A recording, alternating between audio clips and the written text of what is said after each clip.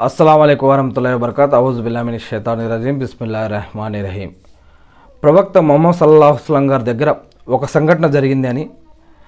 ఆయన శిష్యులను ఒక శిష్యులైనటువంటి ఒక శిష్యుడైనటువంటి ఇబ్నే అబ్బాస్ రజల్లా గారు ఒక విషయం గురించి తెలియజేస్తూ ఉన్నారు. అబ్దుల్ ఖైస్ తెగకు చెందినటువంటి ఒక బృందం ప్రవక్త మొహమ్మద్ అస్లం గారి వద్దకు వచ్చినప్పుడు ప్రవక్త మొహమ్మద్ అస్లం గారు మొహమ్మద్ అస్లం గారిని మొహమ్మద్ అస్లం గారు వారిని మీరే తెగకు చెందినవారు అని వారిని అడిగారు. దానికి వారు మేము రబీ అహ్ తెగకు చెందినవారము అని అన్నారు. అప్పుడు ప్రవక్త మొహమ్మద్ గారు వారికి స్వాగతం పలికారు. ఇంకా ఇహ ఇహలోకంలో పరలోకంలో మీకు శుభం కలగాలి అని దీవించారు. తర్వాత వారు ఓ ప్రవక్త మేము చాలా దూరం నుంచి వచ్చాం. మేము మేము కేవలం యుద్ధం నిషేధించబడిన శుభ మాసాల్లోనే రాగ రాగలము. ఎందుకంటే మీకు మాకు మధ్య అవిశ్వాస ముదర్ తెగవారు ఉన్నారు మధ్యలో. అందుకని మేము ఈ యుద్ధం విధి లేనటువంటి ఆ యొక్క నెలల్లోనే మేము మీ దగ్గరికి రాగలము. ఇతర నెలల్లో వస్తే వారు మాతో యుద్ధం చేస్తారు. అందువల్ల తమరు ఏదైనా చాలా ముఖ్యమైన విషయాన్ని ఏదైనా ఒక ముఖ్యమైన విషయాన్ని మాకు ఉపదేశించండి. మేము వెళ్ళి మా జాతి వారికి ఆ యొక్క విషయాలు తెలియపరుస్తాం. మేము కూడా దాన్ని ఆచరించి స్వర్గంలో ప్రవేశించడానికి అర్హులుగా మారుతాము. మాకు ఏదైనా విషయం తెలపండి.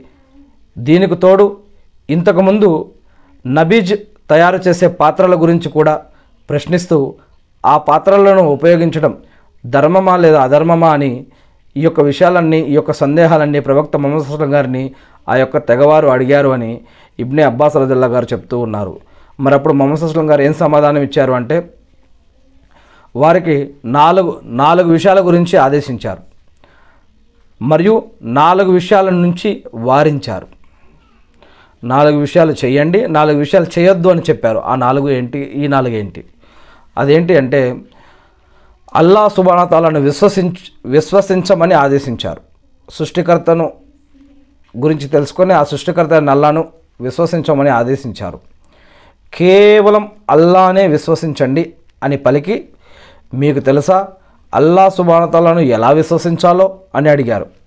దానికి వారు అల్లా సుబానతల ఆయన ప్రవక్తకే ఈ యొక్క విషయం బాగా తెలుసు అని అన్నారు. అప్పుడు ప్రవక్త మొహమ్మద్ అస్లం గారు ఏమన్నారంటే అల్లా సుబానతాలను విశ్వసించడం అంటే అల్లా సుబానతాల తప్ప ఆరాధ్యులు ఎవ్వరూ లేరని మొహమ్మద్ సల్లల్లా వసలం అల్లా యొక్క ప్రవక్త అని సాక్ష్యం ఇవ్వటం. అషదున్న లా ఇలాహ ఇల్లల్లాహు వా షద్వన్న మొహమ్మద్ అబ్దుహు వా రసూలుహు. దాని తర్వాత రంజాన్ ఉపవాసాలు పాటించటం. యుద్ధధనంలో నుండి ఐదవ వంతు ప్రజానిధికి ఇవ్వటం బైతుల్ మాల్కి.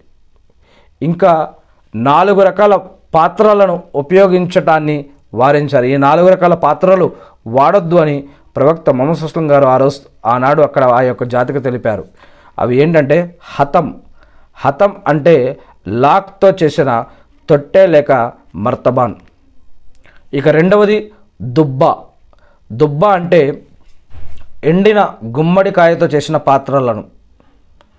ఇక మూడవది నకీర్ అంటే ఖర్జూరం చెట్టును లోపలి భాగం తీసిన కర్రతో చేసిన పాత్రలు. ఇక నాలుగవది ముజఫత్ అంటే సున్నితమైన లోహంతో చేయబడిన పాత్రలను ఉపయోగించవద్దు అని ప్రవక్త మొహమ్మద్ అస్లం గారు చెప్పారు. ఇంకా ఈ విషయాలు గుర్ ఈ విషయాలను గుర్తుంచుకోండి.